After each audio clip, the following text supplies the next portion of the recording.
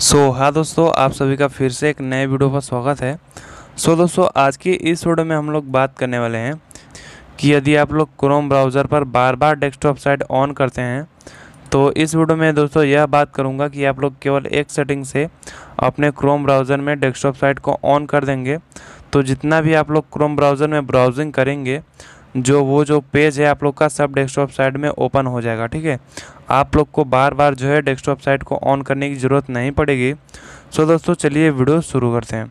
सो दोस्तों, इसके लिए सबसे पहले तो मैं यहाँ पर अपना जो क्रोम ब्राउज़र है, वो यहाँ पर ओपन करता हूँ। ओपन करने के बाद दोस्तों, जैसे मान लीजिए मैं यहाँ पर इंस्टाग्राम को ओपन कर लेता हूँ। इंस्टाग्राम ओपन करने के बाद दोस्तों आप लोग यहाँ पर देख सकते हैं, जैसे ये जो है नॉर्मल तरीके से ओपन हुआ है। तो यदि हम लोग इसको डेस्कटॉप साइट पर करना चाहेंगे तो हम लोग यहाँ पर थ्री डॉट पर ऑप्शन पर क्लिक करते हैं और यहाँ से जो है हम लोग यहाँ पर इस पेज को केवल डेस्कटॉप साइट पे कन्वर्ट कर देते हैं, ठीक है? इस ऑप्शन को ऑन करके। तो यहाँ पर आप लोग देख सकते हैं यह जो है पेज हमारा जो डेस्कटॉप साइट में यहाँ पर ये जो है ओपन हो चुका है। सो दोस्तों, आगे का जो अभी हम लोग यहाँ पर इसको मान लीजिए कट कर देते हैं और अभी हम लोग कुछ दूसरा चीज़ जो जैसे मान लीजिए हम लोग यहाँ पर फेसबुक को ओपन कर लेते हैं। अब फेसबुक को जब हम वो यहाँ पर ओपन करेंगे तो ये भी जो है यहाँ पर नॉर्मल तरीके से ओपन हो जाएगा। यदि हम लोग यहाँ पर इसको भी यहाँ पर थ्री डॉट पर क्लिक करके यहाँ से जब तक डेस्कटॉप साइड में इसको नहीं करेंगे, या जो है डेस्कटॉप साइड में नहीं होगा तो अभी हम लोग यहाँ पर इसको डेस्कटॉप साइड पर कर देते हैं। सो दोस्तों, ये जो है हमारा डेस्कटॉप साइड पर हो चुका है। सो दोस्तों सो दोस्तों, आप लोग यहाँ पर देख सकते हैं कि हम लोग जिस जिस पेज को केवल डेस्कटॉप साइट पर कर रहे हैं, वही जो पेज है यहाँ पर केवल डेस्कटॉप साइट पर हो रहा है, ठीक है?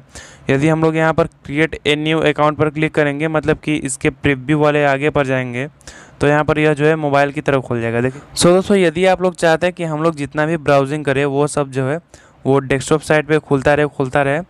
सो दोस्तों, इसके लिए आप लोग को यहाँ पर थ्री डॉट वाले ऑप्शन पर क्लिक करना है।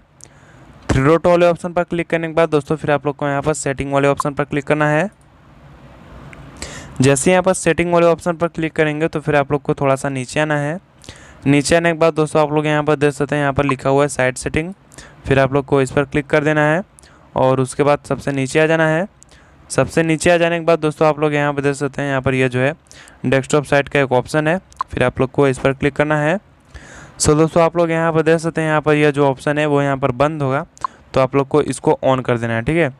और अभी जो है आप लोग कितना भी ब्राउजिंग करेंगे, वो सब जो है डेस्कटॉप साइट पर ओपन होगा। जैसे मान लीजिए, मैं यहाँ पर फ्लिपकार्ट को ओपन कर लेता हूँ।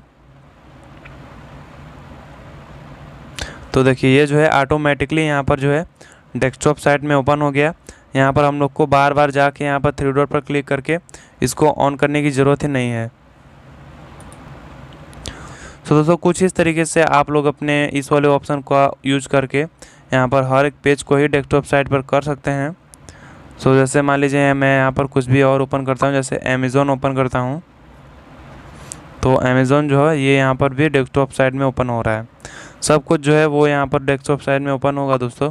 कुछ इस तरीके से आप लोग यह जो ऑप्शन है, वो ऑन कर देते हैं तो ठीक है?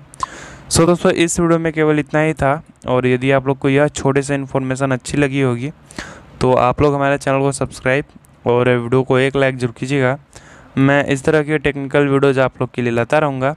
सो दोस्तों, चलिए मिलते हैं नेक्स्ट वीडियो में। तब तक के लिए बाय